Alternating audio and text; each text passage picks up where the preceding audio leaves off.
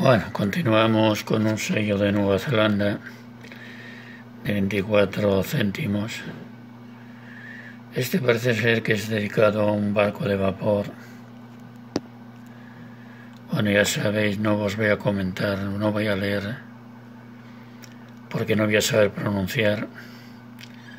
Pero bueno, supongo que este será el nombre del barco.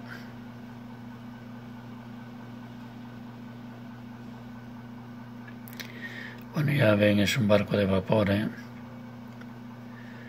de Nueva Zelanda, sello de 24 céntimos. Este es de 1940. Sello que salió en 1940. ¿eh? Ya veis, bonito sello también. ¿eh?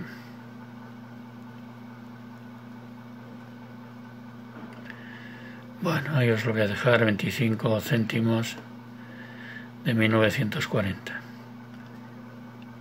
Nueva Zelanda. New. Venga amigos, vamos a por otro.